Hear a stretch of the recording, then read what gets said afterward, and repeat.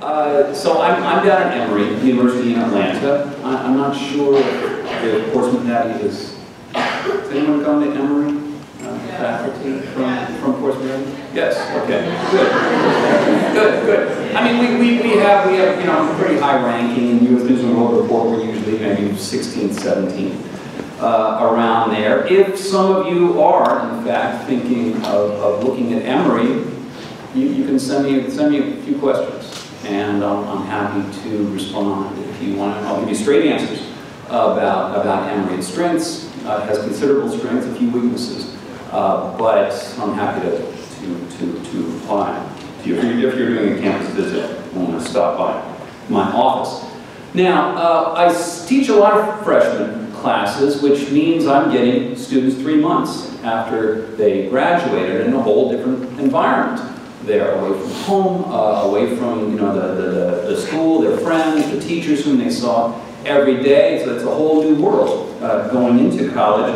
And you, you see a lot of students who are, who are doing well in, in adjusting, and a few who aren't doing well.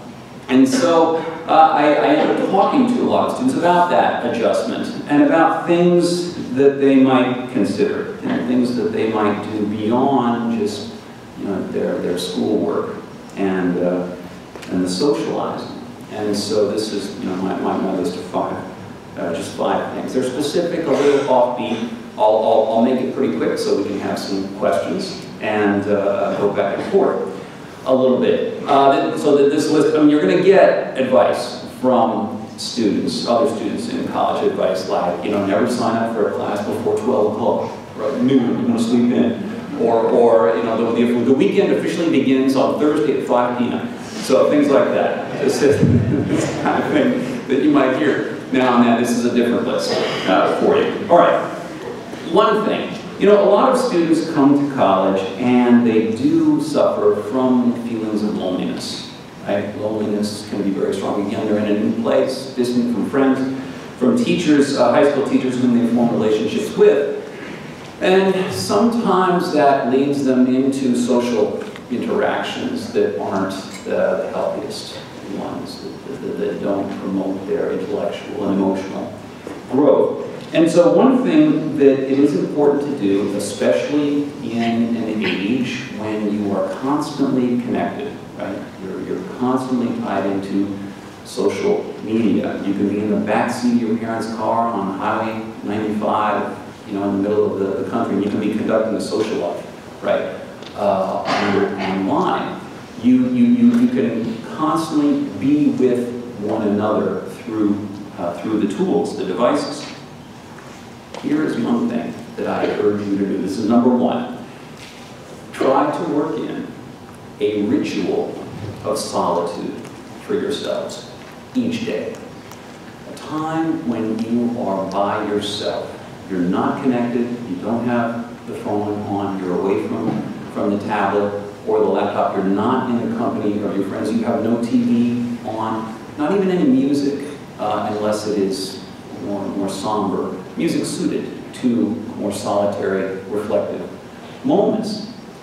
This could be you're going out, you know, each morning you go take a walk, 30 minutes, 20 minutes, by yourself, without that device. It could be, you know, you do some, some meditation exercises in the morning. It could be uh, every day after lunch you go over to the chapel on campus and you sit down in one of the pews. You may pray, you may just sit there and, and be by yourself. Okay? You are alone with your own thoughts, wherever those thoughts may go. And one, this gets you out of you know, the rush of social life and academic life as well. Uh, two, it's a place where you can feel grounded. You're, you're, you're feel grounded, you're looking for ground in, in your solitude. Your ground could be the Lord. Your ground could be nature. It could be, you know, you're doing some, you know, some martial arts exercises or, or, or something, which, which I try to get in every morning. Uh, something like that that is just you and yourself. Okay? And that is a way for you to kind of regain your, re- regain some ground after all the hustle. How often Jesus in the gospel say, go off by myself, right? He has to leave the crowds. He has to leave the, the, the others and be by himself. Now, he is with God at that time, so he's not really by himself, but this is the kind of thing that you need to cultivate for yourself. And it helps you acquire one of the crucial features of adulthood, and that is learning to be alone. Learning how to be alone. Realizing that that impulse, when you're walking along somewhere, you say, who can I call? Right? Who can I make contact with? Let's not let that impulse overpower your capacity to be alone. And part of this is learning to be alone without letting the loneliness get too, too strong. So that's number one, right? A ritual of solitude for yourself. Uh, two, um, we were talking about this last night, the importance of talking to your teacher. A lot of students go to college, they never go visit their professors in their offices. And a lot of professors are very distant figures. They're busy, they're doing their research, they come to class, you see them a couple of hours a week, they go off, you go off. You do your syllabus, your assignments, and everything's done. Try to make your classes more than that. Make them an experience with your teacher. Go in during office hours, the teacher has, and you can talk about the materials on the syllabus, the readings, the assignments, but also you can see if you can expand the conversation to bigger things, like, you know, what courses you might take next year, your interest in, in this or that major. Now, part of this is so that you can learn more things about the life of the college and the life of the mind that that professor represents. But there's an added thing to it. Many students who are at Emory are actually a little uncomfortable talking to someone who is far outside their own age group. Uh, one thing that the digital world does is provide contact in a mode that scientists, and social scientists call age segregation. Because you have these tools, you can have constant communication with people your own age. And you can have this intensification of the, the horizontal spirit. 17-year-olds talk to other 17-year-olds, and so on. Many students then come to college and they're not at ease talking to 40-year-olds or 50-year-olds. And you can see that happening when you try to engage with them. I make students come to my office and talk to me a lot. And uh, what, what I see is this student is going to struggle when there's an internship over the summer, and that student has to interview for the internship with three people who are 50 years old. And the, the, the, the connection just, just doesn't happen. Now, one thing I see, and I can tell just from the, the little interactions I've had with the students here, you, you guys are comfortable with people older than you. And you're, you're mingling together all the time, which is, a, which is a very good thing. You want to keep that up when you go to college. And these are people who are going to be strangers to you. Right? The professor, you've never seen the professor, we just, you just met the professor, just in class. There, there's a distance. Try to walk into that professor's office and practice the ability to have conversation with that person, back and forth about ideas, things going on in, in culture, in politics, uh, whatever. But try to make that part of every course experience. Engagement with your teachers outside of class. So that, that, that's two. Three, take a newspaper and read it. Have it delivered to your door in paper form. Make the newspaper part of your daily life. You get up in the morning, there's the newspaper, you have your, your coffee, your tea, your oatmeal, and you read the newspaper at the same time. 15 or 20 minutes. You don't have to read every article in the newspaper. I don't read every article that I get in, in the newspapers that I receive. But what you're doing is you're, you're, you're gradually assimilating what's going on in the world. What are the important things? who are the important people? What are the important ideas? What are the debates over at this time? And what this is going to do over two or three, four, five months, you're going to find that you have more, not only more information in your head, but you're going to have just a larger awareness of things. So that, this is related to number two, you're going to have more to talk about when you encounter strangers, when you encounter your professors. You're going to bring more to the table. Your professors are not going to be interested in your social lives. They're not going to be interested in a lot of the materials of youth culture. The newspaper is a way for you to broaden what you have to say. You're going to find that when you go out to lunch with those people who interviewed you, you've done a professional interview, they liked you, there are three of them, they're 50 years old, you're going to go out to lunch with them, and that is a social occasion. What are you going to talk about? What, what are you going to share with them? They're going to be looking at you and think, what do you bring to the table? If they see, oh, this, this person knows something about politics, about America, about international uh, foreign affairs, that is going to make you look like you belong there. You bring something to the table. And, and this, this is what's going to happen to you. It's going to make you a more interesting human being. So take the newspaper. Okay? Just, just go through, look at some of the articles that interest you, just pick up the headlines of the others, read the opinion and commentary pages as well. It doesn't matter, it could be a local paper, it could be one of the, you know, the New York Times uh, or the Wall Street Journal, any, any of those. But just think that the, the newspaper is, is an important part of growing up and becoming a citizen. This is why the Founding Fathers put the freedom of the press in the First Amendment. You know what the Founding Fathers thought of newspaper reporters?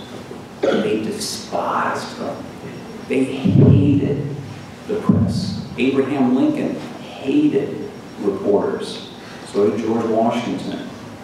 They said they are a necessary part of an informed citizenry. So this is part of your civic duty to read uh, a newspaper. So that's three. Uh, four, as you're going through your college career, you're going to have your coursework, you're going to have your professional ambitions, what's due to your major. Uh, here's what I would say, cultivate an outside interest of your own. Okay? Try to become an amateur connoisseur of something. This could be, uh, this could be anything. It could be you collect things. You know, you, you, you, you, you, you could collect, you know, fountain pens. You know, I know people who, who, who collected fountain pens. They go on eBay, they get these old vintage fountain pens from 1930, uh, pens and pencils. And, and they've got their, their, their little collection and they know something about that. They know what Pelikan issued in a series in, in, in the late 1930s. And actually, it doesn't really cost very much money. You can build your collection over time. It could be that you've got a particular interest in classical music. It's not part of your, it's not part of your, your, your course of study, but you go to record stores, you get old albums of classical music, and you read about them, you know about them. It's just kind of a, a side issue, a side interest. I mean, I, I went once to a luncheon. This was in Georgetown, in Washington, D.C.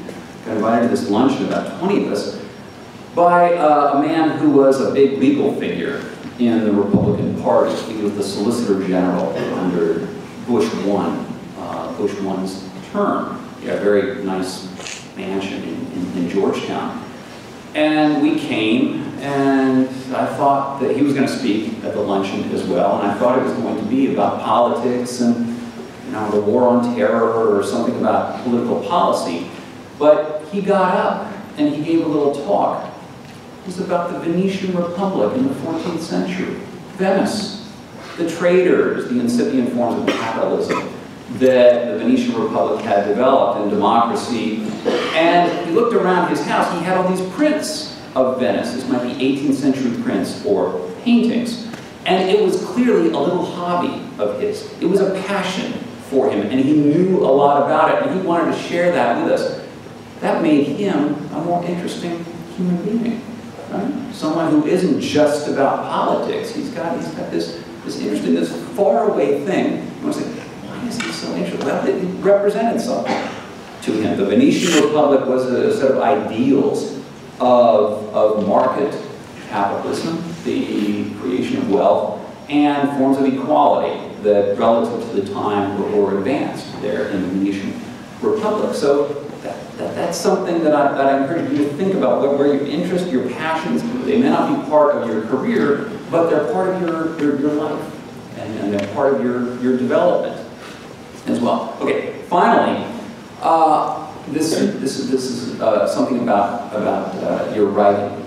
Okay, this, is a little, a little off wall. When you're writing your papers in college, write your first draft by hand. Don't write it on a computer. Go to the library, go to a place where you're not connected, and pull out your pencil, piece of paper, and write out your first draft. You've got a little dictionary, you have a, a book dictionary, not, not the computer dictionary, and a, and a book thesaurus as well. Write your sentences by hand. Don't put it on the computer until you're pretty satisfied with your first draft. I actually, when I teach freshmen, I, I make students turn in papers written by hand. And I say I prefer cursive as well. They look at me like, you know, that, that's crazy. But I've had enough of them say over the years that, you know, when you made me write the papers by hand, I slowed down. I took a little more time choosing this verb instead of that verb.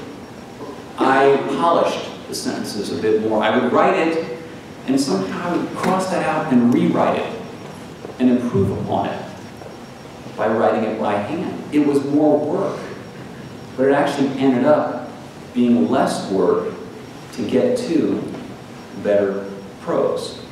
And it showed. So th those are those are my my five uh, five things, and we can we can have some questions about, about those. What kind of newspaper do I prefer? You know, I what I usually have done is I, I take the Wall Street Journal um, wherever I've been, and then also a local paper. You know, we lived in Boulder, Colorado for a year, a few years ago, and I took the Wall Street Journal and the Denver Post. So I like getting, you know, when I'm in Atlanta, we, we, we take the Wall Street Journal and the Atlanta Journal-Constitution as well. Now, uh, one of the big issues in media today is how much bias there is, right? How untrustworthy they are. This is not a new claim, you know. Uh, uh, when Abraham Lincoln was running a cabinet meeting and they were talking about a policy with all of his, all of his secretaries of state and war, and someone said, uh, someone said, look, uh, uh, you know, how are we going to run this with the press? They're so unreliable. And Lincoln, Lincoln popped up. Lincoln would do these kinds of offbeat things. He said, no, no, no, the press is very reliable. They lie, and they re-lie, and they re-lie and lie. They're very reliable. So that, that, that, that was his. Apologies for always complaining about bias. So it, it, uh, it, it and the Wall Street Journal has a particular kind of conservative point of view. The New York Times is solidly northeastern liberal point of view. I actually read the New York Times. I mean, I'm not, I'm not a northeastern liberal, but I read the New York Times, and I think it's important to know what, what, what the New York Times is saying. So, uh, I, I, any, any, any solid newspaper, national or local. My, my advice on affording college, I mean, look, look I, I, I am so ill-equipped for that because when Michael and I were at UCLA, when I started UCLA, I was an undergraduate there in 1977, uh, the registration fees, as they were called, were, were about $130 a quarter. So about, about, about $400 a year was, was UCLA. These, these sticker prices now they're overwhelming. Um, I mean, you want to get out with as little debt as, as possible. And it's so easy to not realize what you're signing up for when you see that, that college cost taking, taking place. I, I don't, I don't know. Um, I'm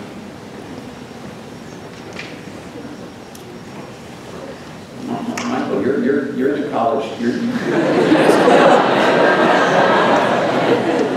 we'll that. Okay. Sorry. I, I mean, I mean, look, it's a, it's a problem everyone struggles with at this point. I mean, all colleges are struggling, all, uh, all students, parents, and no one knows what to do about it. Right, the student loan, the, the guaranteed student loans, I mean, but, Mean, this is a financial disaster. There's more money owed on student loans than there is credit card debt in America today. Uh, so, it could be a time bomb. The college experience is absolutely necessary. There are very few things in life that are absolutely necessary. Uh, you know, when, when, when, you really, when you really get down to it. Look, college, college is college is, is a great thing, right? Higher education is is is a great. It can be a great thing for for for everyone who who goes there, and I think that the, the question is, you, you ask people who, who've been through it, uh, even if they had a bad experience, I don't think you'd find very many people who say, I wish I didn't even go to college. No, they, they might have wanted college to be different uh, than, than, it, than it was. But, you know, for me, college was what it was supposed to be. It was, you know, it was a time of growth and uh, encountering smart people. Uh, you know, I screwed up but it took me five years and about four summer schools to graduate uh, from, from college. I didn't get very good grades my first couple of years. Uh, you were able to fall down more than, than you are today. The competition wasn't so stiff at the selective schools, and there was a little bit more forgiving uh, that, that, took place when people did have a bad, a bad year, a bad semester. But it was uh, it, it, you know, I, I, look back on it with a lot of nostalgia uh, at, at, this point, and uh, so I, I, wouldn't, I wouldn't trade that. Now, uh, there are many, many people who, for, for whom college turns out to be a bad deal because they do come out with $90,000 of debt. They did not learn that much, it is possible to go through college and graduate without actually, in many places, without actually getting the knowledge and skills that, that, that you need. Uh, and so they would have been better served by doing something else, at least for a few years, than going to college. Uh, but, not certainly in, in this world, it's hard, it's very hard to get a rich intellectual life uh, with the knowledge of history and high art and philosophical and spiritual understanding without a lot of study. Whether it takes place in the university or not, you need the study to go along with that. And there aren't many options for acquiring that aside from college about Greek life in college can be good, can be bad. Again, it, it, it varies. Uh, you know, some, some of the Greek houses are just big, you know, four-year party, right? You, you, you go into fraternities, the sororities, and it's, it's, a, it's a bash. Uh, that, that happens. Uh, I, I think I would say that the bigger point is the selection of your friends. You know, you, you can, you, you, you judge a lot of your experience in college by the friends you make and keep. And you don't have your parents right there. You don't have your teachers, other parental figures close by anymore. That again, the teachers in college are pretty distant figures. So much of your leisure and your values and your tastes are steered by your peers by your peers, the people you make friends with in college. And they have an influence on you. I was talking with Chris about this earlier. Peer pressure is very high, especially in a social media age. About 80% of young people with a cell phone or device sleep with it right there by the pillow or on the, on the nightstand in the on position. Okay? They want to be awakened at 2 in the morning if some cool photos come through, uh, something like that. And so this makes your choice of friends very important. They influence you. We have peer pressure. You want your friends to put good intellectual and spiritual pressure on you. You want them to represent something that you want to be. So uh, if you take that newspaper, as I advise, and your roommate says, what are you reading that stuff for? You need a different roommate. Okay? If you have friends who never, you don't feel like they're opening you up, they're, they're not doing something that is going to help you grow and, and develop. Uh, if they mock your religious feelings, you gotta, it's time to make new friends. So that, that, I think that's the bigger, the bigger question about the fraternities that you join. Some of those fraternities are going to have people that you want to have as your friends. Some You know, and you don't want to, you don't want to immerse yourself in them, and that's part of the issue of feeling comfortable being alone. Okay? Being alone. Don't let the loneliness lead you into the wrong friendships, which, which can happen a, a lot. Is there a list of five things not to do in college? There's a list of a thousand things not to do in college. So, Don't cheat, you know, uh, the Ten Commandments, we'll start those. Uh, For, for that, but look, look, it's easy to get ungrounded. Let's put put it, put it. And, and so, you know, you have all the temptations in, in college, and we are all fallen creatures, and I succumb to them many times, you, you'll succumb to them many times. The important thing is that you can come back. There is, you, you maintain a place to go. You hear a lot of talk about safe spaces on college campuses. The chapel, okay? It's a safe space. Go, go, go. You, you, you've got, you've got the, the, the, the holy space there. That, you, you, maintain those places to return to. The two or three good friends, I mean the deep friends who understand you, who, the kind of people who you can be away from for three years. You'll, you'll find this when you go.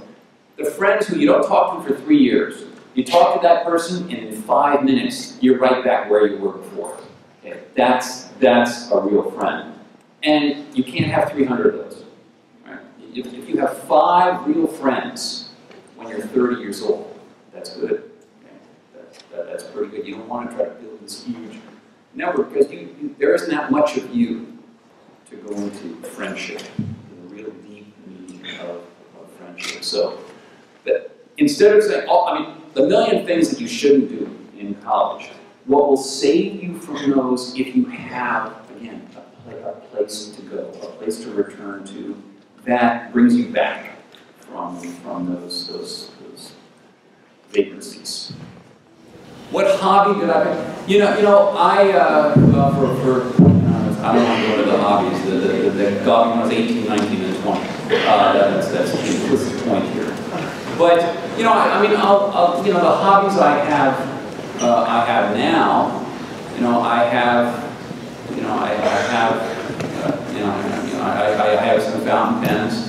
I think they're cool, right? You know, uh, uh, I, I, I, you know, a few, I hated, I, I just, I, I just hated the sound of opera. My father used to blast it in the house, and it, it's like trauma to me to hear any opera. A couple of years ago, I, I, I heard a little opera, something clicked on, on you know, my poor wife. Uh, the, the opera, you know, she has to hear Wagner booming, through, she shuts the door, tries to enclose me in. So, you know, I, I'm, I'm, you know, I go to the opera whenever I can. Just, I'll go to the, you know, five minutes before, and I'll stand in the back uh, to listen to it. So that, that, that's, uh, those are Those are, those are two things. Used to be UCLA football, but, oh, this, it's too painful. So, this year was bad. But they, they had a good basketball in this week. The number one team, Kentucky. So, Sorry. You know, it, it, it really is a problem in classrooms because, first of all, some subjects are leading people to be so frightened to open their mouths. Race. Oh, everyone gets nervous about, and I teach, I teach American literature, I teach African American literature and history, and, you know, racial tensions are there in the works. Huck Finn has the N-word in it, and Frederick Douglass uh, does, does too. And I, I teach these works, and it really is uh, a, uh, I don't know, stifling is the word, but the, the nervous tension in the air is very powerful. And uh, I, I see this about some issues of sexuality uh, as, as well. Um, it's getting worse. Uh, the political correctness uh, issue, I'm not sure if that's the right word for it at this point, but people are censoring themselves a great deal on college campuses, and they've learned to. Because very often if you say the wrong thing, if you let the, the wrong words slip out of your mouth at a weak moment, then you can be punished. You know, people get you on, on camera, or uh, they'll, they'll make a complaint or something, and uh, I think the, we, we do have to lower our sensitivities and accept that when you're in a country with the First Amendment, with free speech issues, you're going to bump into irritating things, sometimes offending things. It's just going to happen when human beings with all these mixed motives and lesser impulses mingle. And most of the time, we've got to just shrug and walk away and let, let these things, let the, the feelings of offense just dissipate. My fear is that we, the, the sensitivities have become so high that we're losing the space for people to make mistakes, right? to, to be stupid, and to forgive for, for that. And that much of this campaign, right, the last election, was about this issue. You know, Donald Trump's offensiveness was a very, you know, daily discussion point in, in the press, and I think much of the support for him, people in this, but the support for him was uh, some impatience from people feeling like they're constantly under surveillance, that we're constantly under suspicion, and that we just have to lower, you know, lower, lower the, lower the heat on this and accept one another as fallen beings. And uh, unless it passes a certain point, then we can act against it. But right now, the bar is way too low on our reaction to, to uh, impolitic social attitudes. Would would I like to see trigger warnings in safe space uh, discussions just become absent? Well, you know, there is a, there, there's a common sense side of this, of letting students know, we got stuff in this book, this novel, that, that, that, that can be pretty, pretty, pretty hard for some people, and let it go at that, right? It, it isn't in principle that trigger warnings, which is sort of the announcement at the beginning, this material contains that may, you may find offensive and you may want to, that is again a, a commonsensical statement as part of teaching, letting students know what's, what's in the book. Uh, but there is a point, again, at which this turns into a form of fear? There's something bad in this book, and it may be bad for you. And what this does is elevate people's responses to, I think, pathological levels. And that while we understand something can be upsetting, I mean, one of the things about literature, art, is it can be profoundly affecting in all different directions, good and bad. Right? People can identify with characters for bad reasons. And this is sort of the, the hazardousness of, of art, literature, and music. And what we need to do in a college classroom is acknowledge the power of these materials. But if people are going to respond irrationally to them, which is what the trigger warning is about, you are going to be triggered by this. In other words, it's not a rational response, right? It's an instantaneous trauma that people feel that is going to interfere with your capacity to respond rationally to this.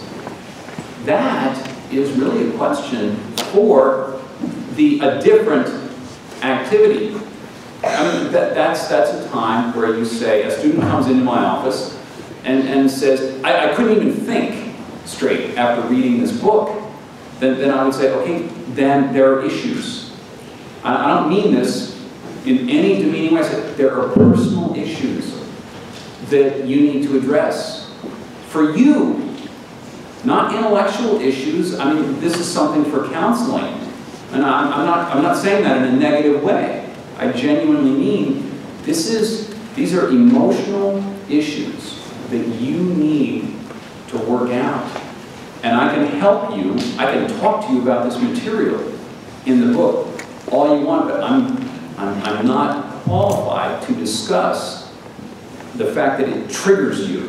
That, that, that really is a personal thing to, and I should refer you to the, the, academic counselors. And I actually frequently refer students to academic counselors, not, not, for, not for this, for many other reasons. Students say, I'm having a really hard time, on my own, and I say, we can help you with this. And I get on the phone, and I, I, I say, we have people who are here to help you work through this. That is where I think the, the, the triggering experience needs to be conducted, and that the classroom, beyond that common sense, we've gone too far. Right? You ask your upper division people whom you meet. You join a fraternity. You ask, you know, that's a way to find out from the juniors and seniors who's good, who can I talk to. You, if, if you're politically minded, there are college Democrat clubs, there are college Republican clubs. They will connect you with professors who can who, who can you can talk to about about politics and have some congenial build a congenial relationship with them. Uh, if you if you don't know where you're going, you have no idea what you're interested in. Okay, that's you. You've got a great year ahead of you. You just explore. Okay, you're going to take a course in art history from the Renaissance to the present. You look at pictures. You know, you talk about beauty in art. You take you take music history. You take a course in jazz. You know, jazz history. You you can you can take a course in in political theory, you know, political science. Read, read about American elections. I, I, I would say that the condition of not knowing where you want to go, don't panic, right? This is this is a year. You don't have to decide on a major really until the end of your, your second year. When some of them your pre-med from the start, you, you, can, uh, you can actually hold off on that uh, a little bit and say, this is my chance to look around here. I can, I can, uh, I can breathe a little bit. I've got to fulfill these general education requirements anyway, where you take, work in humanities and social sciences. Uh, you, you should look upon those courses not as something to check off the list, but an area to go where you can learn about things and perhaps find what, uh, find where your interests go, and then the professors with whom you can build that, uh, build that relationship too. And that's part of going in and talking to your professors. Some of them are going to be off-putting. They don't want to be bothered. They're busy. Actually, that's a good experience for you. To go in and talk to a professor and have it not go that well. He's not interested. That's a good experience for you to have. The second time it happens, it won't be really that upsetting. Okay? You'll have been there, done that, and you'll know how to respond in that situation better the second time and, and the third time. But go, going in, yeah, talking to your professors, and you can tell from the way they act at the podium if this is a simpatico person you or, or, or not. But I think that, that just, I think that will tend naturally to happen if you make the effort. You can drift through college and never, never really form a strong relationship with many professors, but I think that's a lost opportunity.